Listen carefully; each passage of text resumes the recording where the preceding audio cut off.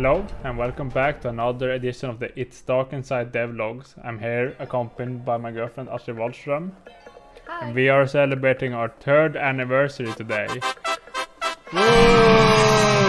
what better way to celebrate that than to check out the new things we have added to the game It's Dark Inside. Uh, we're going to check out some new enemy updates, some new development stuff that we had added to the game, some new cool concept art and UI, and take a look at our little Twitch stream we have been cooking up. So um, I hope you like what you see in today's edition.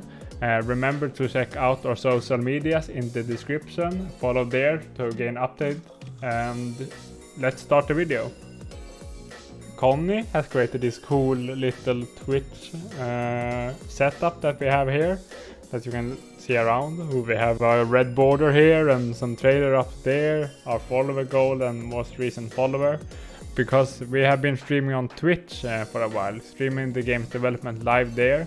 So check out twitch.tv slash insideemil. It's somewhere here, Connie can add it. Twitch.tv slash insideemil. We stream Tuesday and Thursday, so follow the game's development live there. We'll see you there. We see you there. Another thing that we added is like this whole intro sequence here. Ooh.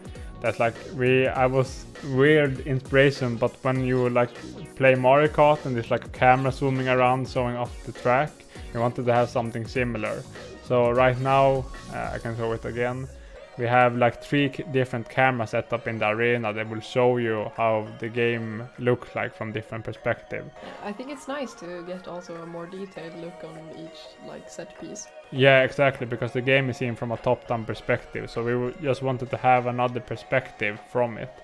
And there is also this like intro dialogue that you can have. In the arena, you will meet the king there that will talk to you and like uh, have conversations with you.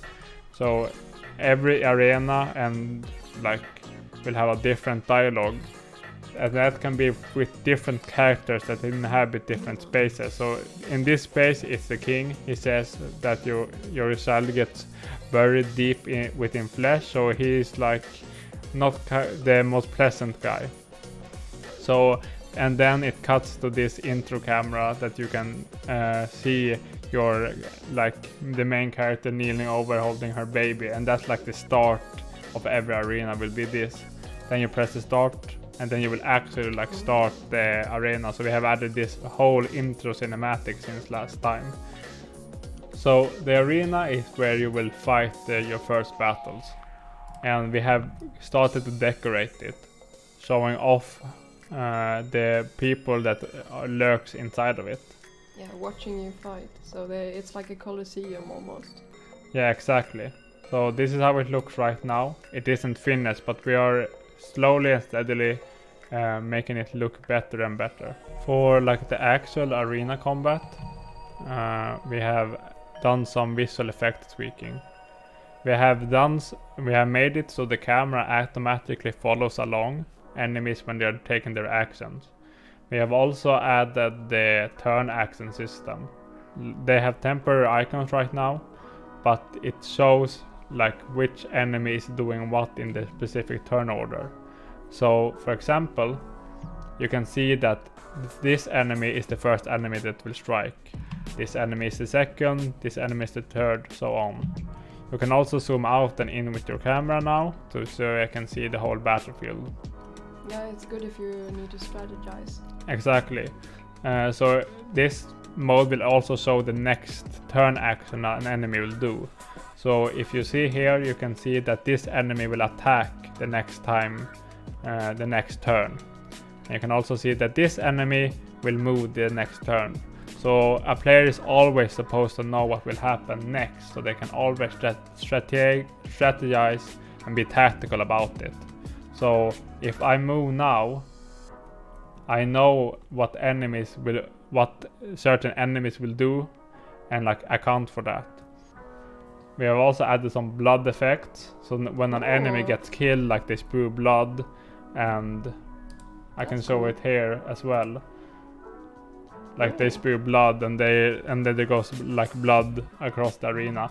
It's probably a little bit too much right now. I just like tried this out early today, but we wanted to have something that like feels good. So when you kill something, like the blood gets spilled across the arena, and we want like different enemies to have different types of blood and stuff like that. So we have continued also working with the main menu part of the game. So here on the left side you will see all your different levels that you can choose between. And all these different levels will also have their own unique score. So you can see your best score that you have gained through a level. So the purpose is that you can maybe come back to a level uh, after you have gained more like experience with the game and also leveled up your character so that you can gain a better score. You will also have a high score uh, here to the right where you can like compete with your friends and other players uh, that have, are playing the game. And we will have a, a score system where there are three teeth here. They will be empty from the beginning. So like think about like stars from any mobile game like Candy Crush that you can gain like three different stars on a level depending on what score you, you will gain. Uh, it's the same thing here but instead of like gaining stars you will like fill these cavities with teeth so if you gain the best amount of score you will gain like three teeth that comes like drilling down uh, into the flesh it's a very visual horror yeah exactly and if you gain like the second best score, you will gain like two teeth, and you will use these to unlock things uh, in the game.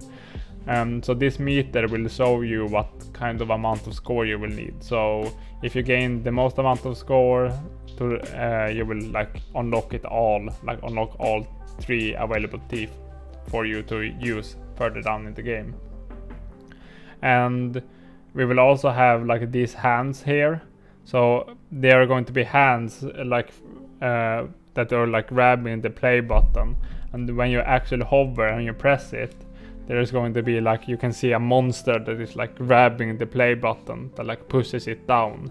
So we wanted to have some instead of like a, just a regular like just press the button. We wanted to have like the game like horror Im- imagery with the visuals main menu of the game that where a monster will like automatically grab uh, the play button. So we wanted to have like everything, like the UI to be like because the game is like really body horror slash uh, like gruesome.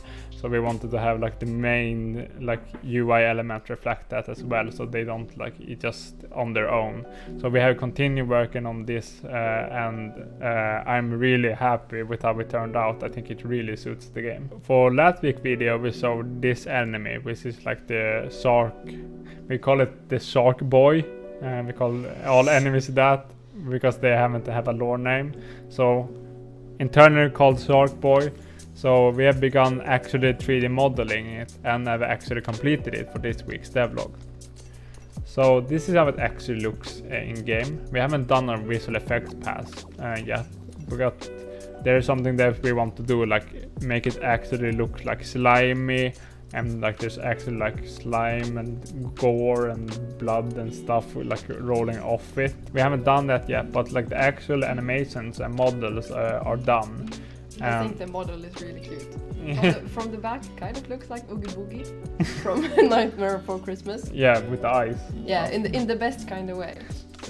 The enemy in game are like spawned by another enemy, so they are meant to be like a lot of them at the same time in the arena. So they are fast and they move uh, they move twice a turn instead of just one like regular enemies.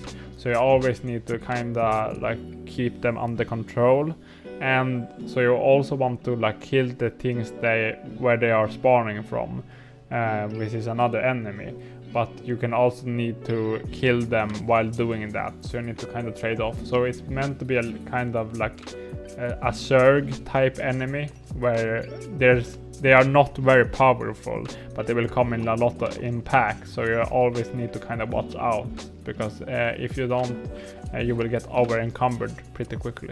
Yeah. I think it's kind of similar to an anglerfish as well. Yeah, exactly. So it's meant to be kind of an anglerfish. Yeah, it's very nautical. Yeah, yeah. So it's in the the nautical area. not yeah, not naughty, but nautical. yeah. uh, the water area in the game. And we have started working on the latest enemy, which is going to be like the frog, the frog boy. Uh, Is that the one that spawns out these fellas? yeah, exactly. That's the one that spawns out these enemies. So we are going to use, so they it's like spews out these enemies from its mouth. Um, so that's the one we're actually going to. Uh, we are starting on 3D modeling. It's probably going to be finished for the next devlog as well. So that's Ooh, nice. I look forward to Yeah, seeing it. That's one. That's actually one of my favorite designs as, uh, as well. So I'm really excited about it. Yeah, I like this little fella as well. Yeah, he's a he's a good boy. Yeah, he's a very good boy. So that was everything for this week's devlog. But uh, if you want to, please remember to follow our Twitch channel and social media and hit hit that subscribe button, or else uh, Signe will eat you up. Yes. And she's really hungry, so Yeah, Uh, especially so look out. yeah, expect. Subscribe, my guys. Yeah, exactly. So uh, we will see you at next week's devlog, and have a really great week, everyone. And we will see you then. Bye. Bye. Bye. Say bye, Signe.